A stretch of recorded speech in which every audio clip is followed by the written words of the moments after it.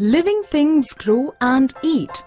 In this module, you will learn that living things grow and eat, whereas non-living things do not.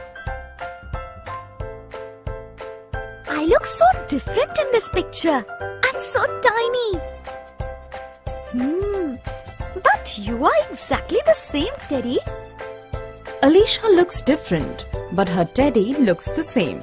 Do you know why? This is because Alicia has grown over the years, but her teddy has not. All living things grow, just like Alicia. In contrast, non-living things like her teddy do not grow. Let us see some more examples. A plant grows. A dog grows. And a hen also grows. So, Plant, dog and hen are living. In contrast, a cup, a bottle or a bag does not grow. So they are all non-living things. Alicia, your food is ready.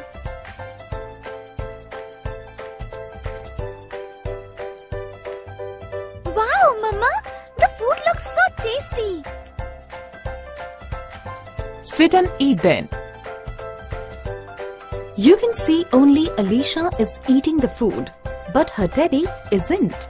Can you guess why her teddy is not eating? Is he not feeling hungry? This is because Alicia is living and all living things need food for their growth. In contrast, Teddy is non-living and non-living things do not need food. A dog and a cat eat food, whereas a ball and a stone do not. This means a dog and a cat are living, while a ball and a stone are non-living. Even a plant needs food. Do you know how a plant gets food? We never see a plant eating food. A plant actually makes food on its own. It uses sunlight, air and water to make its food. Now, Let's recap. Living things grow. Non-living things do not grow. Living things need food.